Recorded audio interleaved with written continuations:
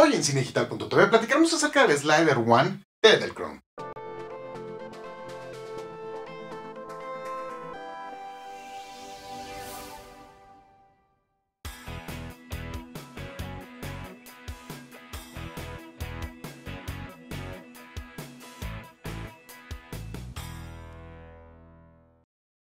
Hola, ¿qué tal? ¿Cómo están? José Luis de cinedigital.tv y el día de hoy vamos a platicar acerca de este slider que tengo aquí. Este es el Slider One de Edelcron, un slider ultra compacto, como pueden ver, más o menos mide como 20 centímetros. Eh, es un slider que por su tamaño nos permite viajar con él sin ningún problema. No tenemos el, el tema como con otros sliders, de escoger entre llevar una cosa u otra, sobre todo si estamos viajando, ya que es sumamente ligero, si se fijan, más o menos mide como un centímetro por 5 centímetros de ancho por 20 de alto y esto hace que quepa perfectamente bien en nuestra, en, nuestra maleta en el caso de que estemos viajando. Uno de los problemas normales con la mayoría de los sliders es que el, tamaño es muy grande. Entonces, eh, si viajamos, si tenemos espacio limitado para mover el equipo, como es, la, como es el caso de nosotros en la mayoría de las ocasiones, terminamos eligiendo entre llevar o una cosa o la otra. Entonces, en muchas ocasiones, sliders como el Alex o como, como el slider de Kessler terminan quedándose en la oficina, pero no tenemos la posibilidad de moverlos en un avión, en, una motocicleta, etc.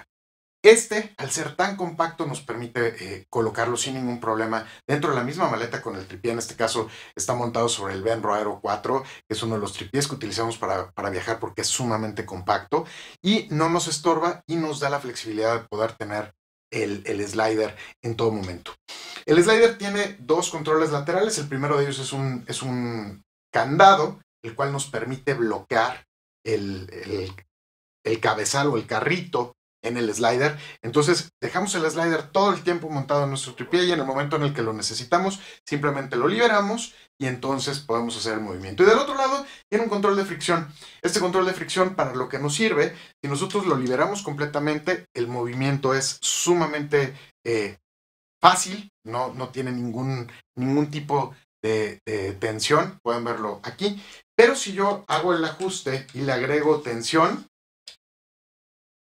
hace que, el que mover el, el, cabezal sea un poquito más, eh, más difícil y al ofrecer esa tensión hace que el movimiento sea mucho más fluido. Entonces, eh, tenemos tanto la opción de poder dejarlo completamente libre si nosotros queremos o agregar cierto movimiento y cierta, y cierta tensión para hacer que el movimiento sea más fluido. Ahora, Ustedes se preguntarán lo mismo que nosotros nos preguntamos cuando decidimos comprar este, este equipo, es qué tanto podemos hacer con un espacio de recorrido tan pequeño, partiendo del punto que la mayoría de los sliders miden 90 centímetros, 50 centímetros, etcétera, y este es tan pequeñito. Para efecto de, mostrarles más o menos lo que, lo que se puede hacer, eh, vamos a ponerles aquí unas, unas imágenes de algo que grabamos utilizando la FS5 y el, y el slider.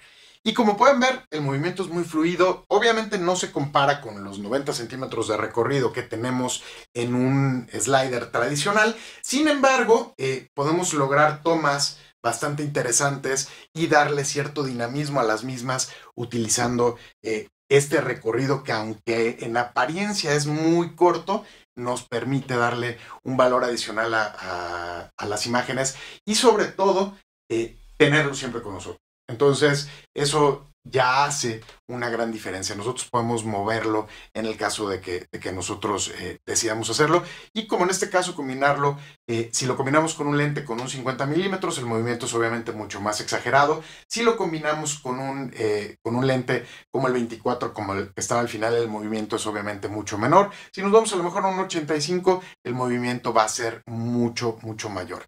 Retiramos ahorita el, el slider del tripié para que vean más o menos el tamaño. Como se los comento, es sumamente compacto. El perfil es muy, muy bajo y cabe en nuestra mochila, cabe en la mochila del tripié y lo podemos llevar con nosotros en cualquier momento sin ningún problema y tener la ventaja de poderle eh, darle un valor, un valor adicional a nuestra producción sin ningún problema. El equipo este cuesta 199 dólares, está disponible en Amazon, está disponible en, en, B&H, Creo que también ya vende directo eh, Edelcron e incluso Edelcron tiene un módulo que se puede colocar en la parte de aquí abajo eh, para motorizar el slider, hacer timelapses, ese tipo de cosas y, eh, y darle una funcionalidad adicional. Ese módulo nosotros no lo tenemos, solamente compramos el slider, como se los cuento, 199 dólares cuesta y está disponible en todos estos lugares. Pues si tienen alguna duda, algún comentario, por favor visiten la página www.cinegital.tv y haremos todo lo posible por contestar sus dudas. Pues me despido, mi nombre es José Luis Tamés y nos vemos en la siguiente de cinegital.tv. Muchas gracias. Adiós.